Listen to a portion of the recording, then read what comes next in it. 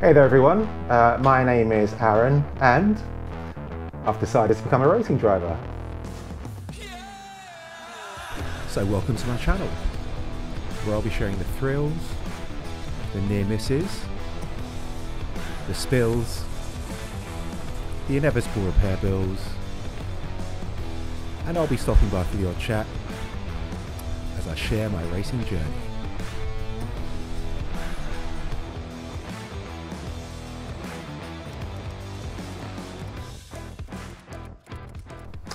Uh, and so welcome to my new channel, the, uh, the Inner Racer, and thanks for watching up to this point. Now, uh, this is the very first YouTube video that I've ever done. In terms of why I wanted to start up the channel, um, I'm just what I consider to be a regular guy. Um, as of the time of filming this in May 2022, I'm 35 years old.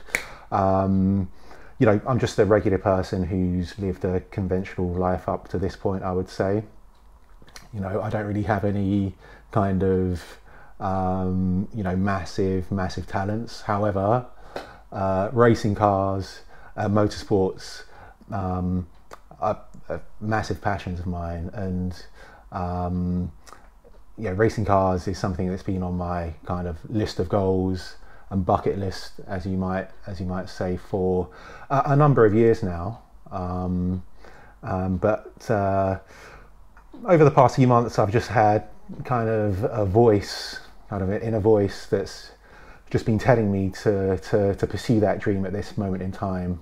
Um, and so a few months ago, I made the, the, the big decision uh, to embark on a season of car racing uh, this year for, for 2022.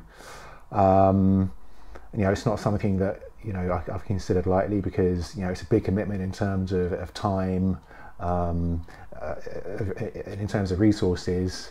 Uh, but hey, you know, uh, life, life's short, and with everything that's been going on in the, in the world over the past couple of years, we just don't know what's around the corner. So I just decided to, to make my dreams and my goal a reality and start racing this year. So over the course of this year, um, I mean, the main the main purpose of my channel is to really share my racing journey with you. Um, as it's a journey into the unknown for me. Um, and I'm sure that there are you know many guys and girls out there like me who consider themselves just to be regular people who don't who don't come from motorsport families like me, um, who are thinking of embarking on a similar journey um, uh, but don't know where to start. Or you know you might just be a motorsport fan in general and interested in cars and want to see what motor racing is about. So hopefully uh, during the course of this year I'll be able to share some content that's uh, that's of interest to you. Um, now, I'm aware that I've been uh, talking for a while, and as the year goes on, I will be doing a few more deep dives into kind of my approach to racing, my motivations, uh, and what I love. Uh, but as I'm film- filming this, I actually finished my very first racing weekend uh, at Brands Hatch in the UK uh, about three weeks ago now, and I've got plenty of racing action and content to, to share with you. Um, so that's uh, that's as I said what I want to share. But before we do that, um, I just want to go into a bit more detail about the championship I'm racing in, here in the UK and, and, the car that I'll racing that I'll be racing. Sorry. Uh, so yeah, here they are, and hope you enjoy this first episode. So here's some more information on the championship that I'm racing in this year, the Caterham Motorsport Championship. Now this championship is second on the rung of Caterham's UK racing ladder, first rung being the Caterham Academy for completely new drivers. Now, the Caterham Motorsport Championship is the championship that uh, the Caterham Academy drivers graduate to, plus it's open to novice drivers like myself who have got no uh, car circuit racing experience but might have some racing experience previously. So, in my case, I've raced in an arrive and drive karting championship for a couple of years. There are seven race weekends across the UK, and we are visiting circuits such as Brands Hatch, which we'll be covering later on in this video, and Silverstone Grand Prix circuit, which I'm very, very much looking forward to. And the race format is one qualifying session which lasts for 15 minutes uh, that determines uh, the grid for race one on Saturday. Then the results of race one on Saturday determine the grid for race two on Sunday.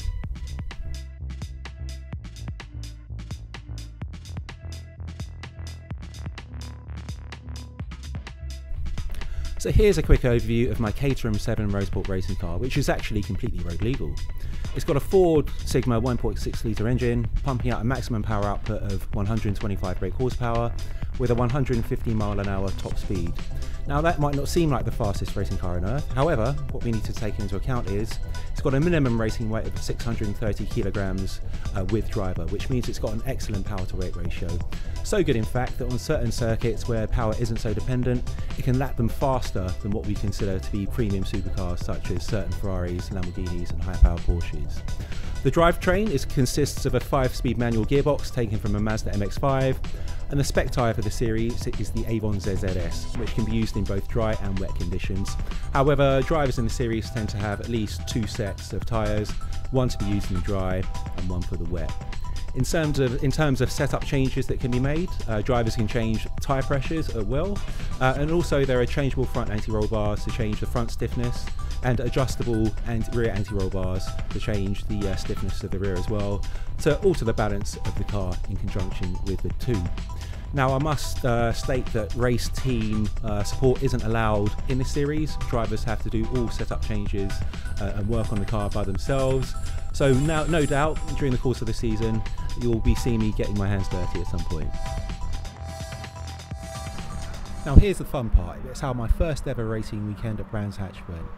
As a reminder, the format is qualifying followed by two races.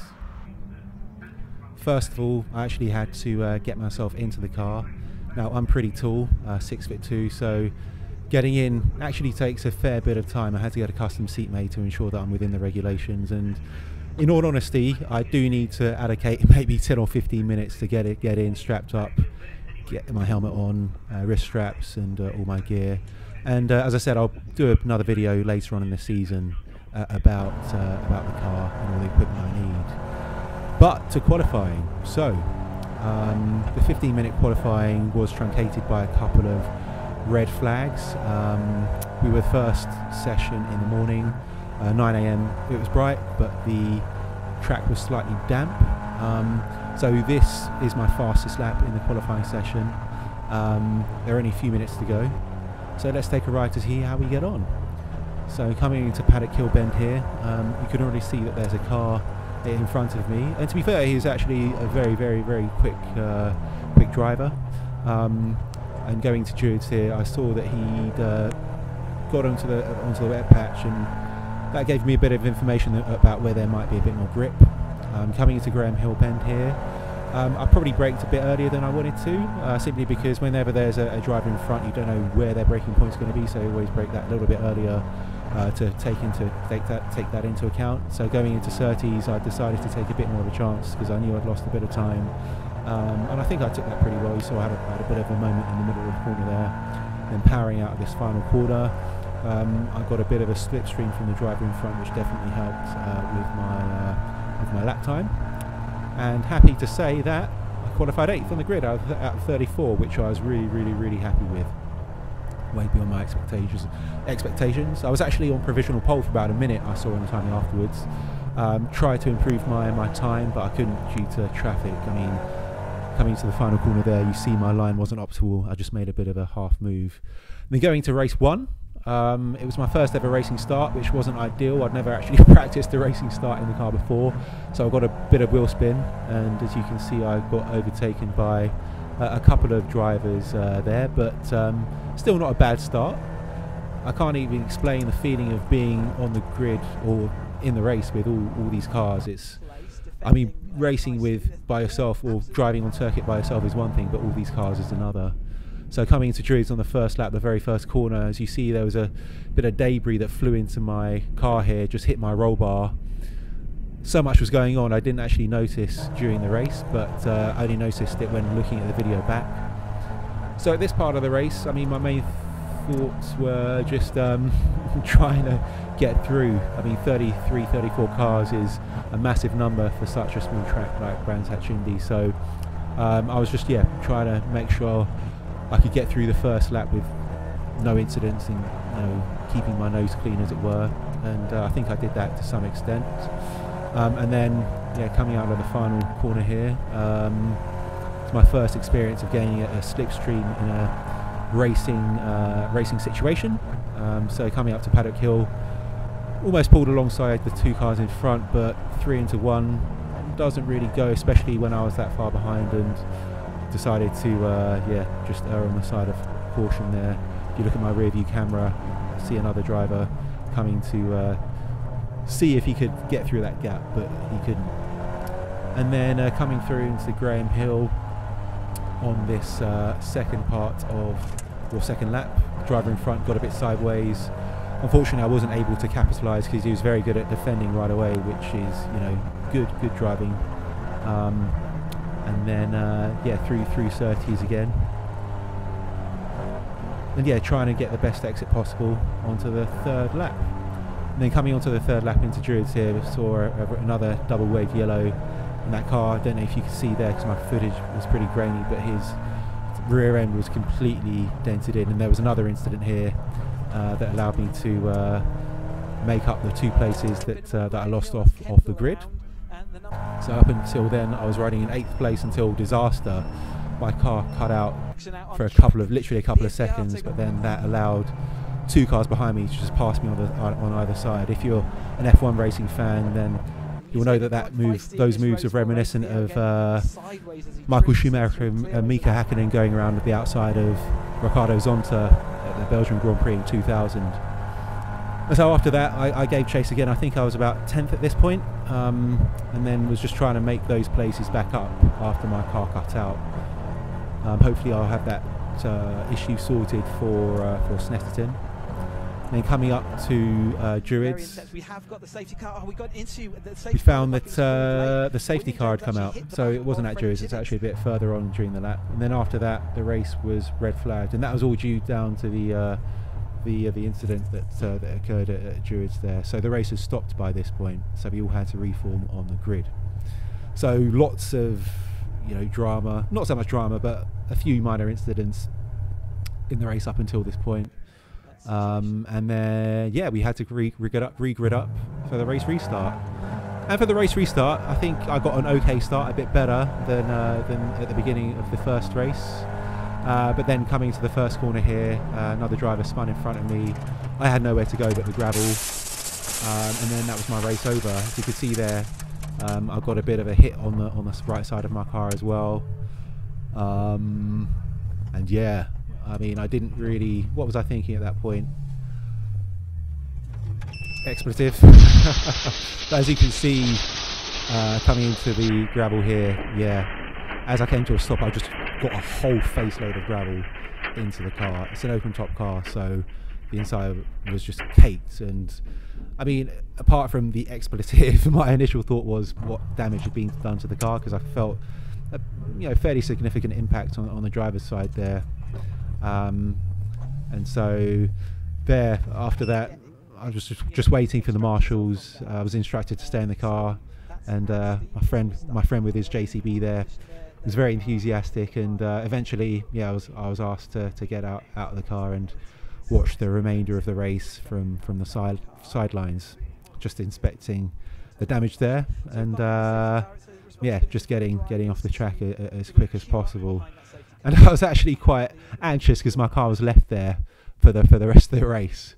Um, but yeah, here's my car after the race. As you can see, the right rear bumper was was dented slightly, as well as the uh, exhaust silencer, um, which wasn't ideal. I mean, the car was drivable, but still, the silencer at least was damaged that needed to be uh, fixed. I could leave the bumper as it was with some gaffer tape, and there there's my video of, the, of the getting a new silencer there. Literally a five minute job, and yeah, props to Caterham for fixing that for me. And yeah, here's a, a little quick vid of the gravel in my car after the race. Um, I tried to get get rid of most of it, uh, but I still had a bit in the passenger footwell footwell there as well as uh, the, the driver's seat. And that takes us to the start of race two on Sunday, the next day. Um, so I got yeah a bit of a better start, but still not ideal. Um, but I think it was a blessing in disguise that I didn't get a great start because it meant that I wasn't involved in the incident we saw up ahead. Um, and by this point, I mean, uh, yeah, it's, it's one of many incidents that, that occurred during the race. But yeah, that incident uh, resulted in another, another red flag, another race uh, restart, uh, which you'll see here. And I actually got uh, an okay, okay start by this point in time. My main objective was just to finish the race. So uh, the race had been shortened to 15 minutes uh, by by this point, so we have 15 minutes. And um, yeah, I started P26 again, I believe, for this uh, second uh, second attempt at starting race two. Um, and as you can see, yeah, I was being a bit conservative and tentative going into uh, the first first corner. And so yeah, as I say, going to Graham Hill, I think you can hear the gravel in the car a little bit from uh, from from before uh, from from from race one from that was left in race one. And uh, yeah I was just I was just making my way up the field.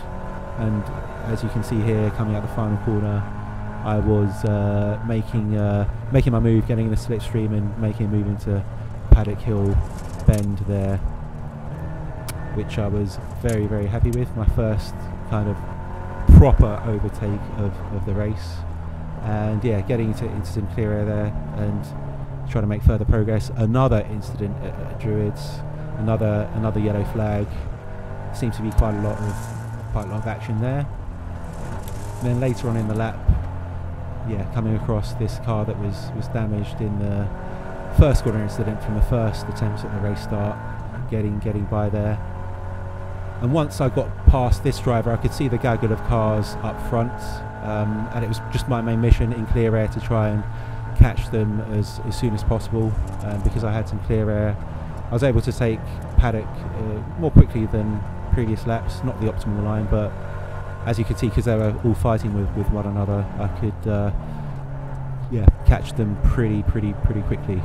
Um, and I just wanted to get my head down and, and see where I could make some moves and uh, yeah make some some risk-free passes really. Uh, and yeah, coming down the straight here, just trying to optimize my um, my line through Surtees, and yeah, optimize my exit out of that final corner to try and get in the uh, in the, in the slipstream there.